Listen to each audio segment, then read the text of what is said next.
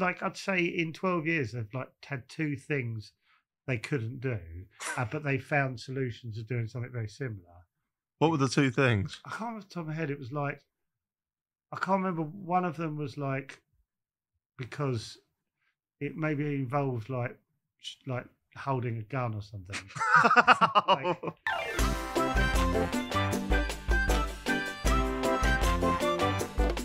Before we let you go, Joe, um, just because my cover photo from 2013, I need to ask you a bit about Cats Does Countdown. okay, yeah. Um, I think that's uh, is it is it fair to say that's where a lot of pe- people got to know you first of all, or is, is that doing you a I- disservice? Uh, um, no, I think that's fair. I fair. Like it, It's fair because that's what I get a lot. Oh, really? Yeah. that's that's that's a good marker, actually. Um, yeah, I think so. I think so. It's been been doing it quite a few years as well now, so it's probably yeah. Must be over 10 years because it's my cover photo, 2013. I think I think it's about twelve years. is it? Wow. I know it's mental. Do you enjoy doing that? I do. It's I have to pinch myself sometimes because, like, I think, like the people I work with at Zeppotron who make it are so generous with what they let me do. Well, it's not even let me do; they let me do anything. Like literally, anything. It's so insane. But they, what was amazing is they don't tell me the, the hoops they jump through to make things happen. I find out afterwards and feel terrible. Like I had, uh, I did this one, this because sometimes, like I do less of them now because they are they're getting bigger and more expensive. Like I call them like set pieces where I come on and do like a ten minute sort of thing, and uh, um, and so one of them I was like I sometimes come back on as like a magician basically, and I had this thing where this um, the idea was a huge tank of water, and I was going to try and get out of a bag and that's all chained up and stuff, and, and, and they I get told it's too dangerous, so I get my half brother to do it because it sort of doesn't matter if he dies or not. And uh, and so the whole so the casino and I've got this big tank of water and and I did the thing and it, it- whatever, and then um afterwards I found out that they had to completely rewire the whole studio so there was no wire within like ten feet of the water and all this stuff. So the whole thing had to be reconfigured for like one like joke and they never told me. Like it just came out like like months later, and I was like, and they were like, yeah, like that's the first time anyone's done that in a studio like that because it's so dangerous. Because if it cracks and all the walls, you know, like Yeah, yeah, yeah. I was like, oh, I didn't know that. And I find, find out the, the cost of something because I've had an idea that is, you know, like I, I was, I was like, I'm probably, I'm probably out of order, but I had this um, muscle suit made so I look like um, Incredible Hulk, and that cost an absolute, bomb. an absolute bomb. I think I, like, I'm glad I knew that afterwards because I was like, imagine this doesn't land. I'm just like, just like pissing fivers out the window.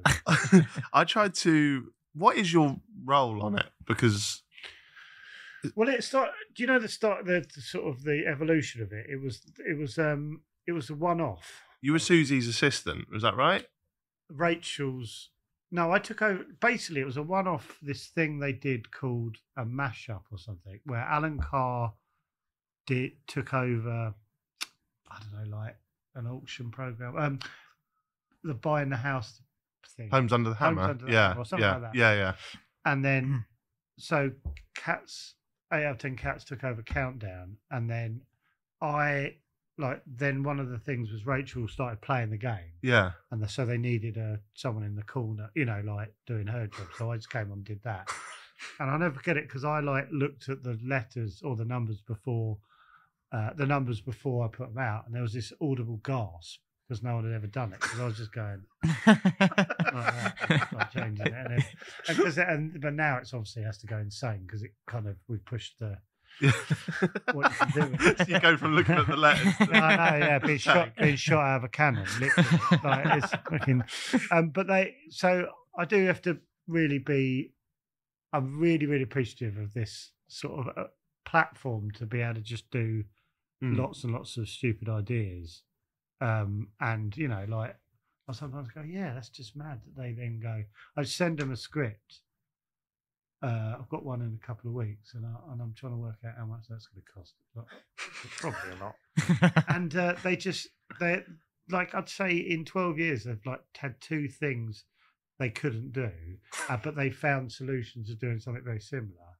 What were the two things? I can't remember the top of my head. It was like I can't remember. One of them was like because it maybe involved like like holding a gun or something, and they were like like if something happens in the news, you probably don't know, but like if if you something happens in the news that that someone's shot or something, yeah. you then looks really distasteful. Mm. So they were just like that, and then they found, but they they don't just go. What I mean is they don't just go um, to write something else. They go they give you an, like a, a few ideas that you can then take away and Right. sort of mull over what would work and stuff like that. So it's just it's just sort of mad that they let me do it. It's great though, isn't I it? feel way too old to be doing it. I was I did one. I had like forty foot long legs, right? For whatever reason. I can't remember the idea.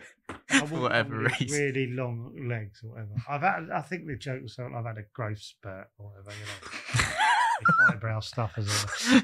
And uh, and so they go to me like just before you come on, we'll because I was on like wires, so they've got hoist you up, you know. Uh, but but it's in a studio. It's a you know. It's like in front of a live audience. So we're gonna have to lie you down at the side of the stage, and then sort of hoist you up last minute.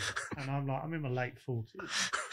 I'm lying there, and people are walking past me, and I've got massive forty foot long legs, and I had a real low, real low. I was like, it's like, what am I doing? but everyone was really sweet, and they and it and it worked, and I was I got I got through it. But um, but I, was Got through like, like a war. I was just lying there going, "Fucking forty eight. Occasional like some sort of twenty two year old runner, really lovely, going, "Do you need anything? I need to fucking grow up."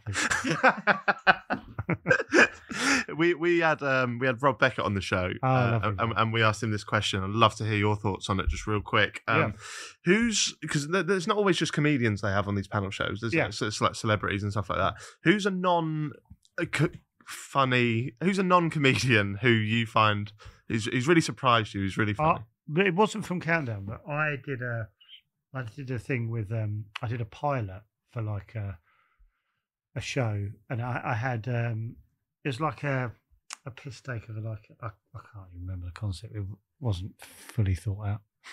Um but I had Krishnan Guru-Murthy on and he was brilliant. Like he so I had this thing because it was really stupid. And the, the idea was a lot of stuff in post that would then look quite weird. Like I, I um, I said that I was asked him like quick fire questions like you, but I said I'll be honest with you, my feet are starting to swell up. So, like, can you just like not, like, just not mention it? so, so we're doing these questions, and and my feet are swelling up, which we obviously put in post. And uh, he's just like glancing down like once in a blue moon and just ploughing on, and and, I, and his whole attitude was was sort of um, professional, but like I'm better than this. And he just played it brilliantly. Yeah. It was really funny.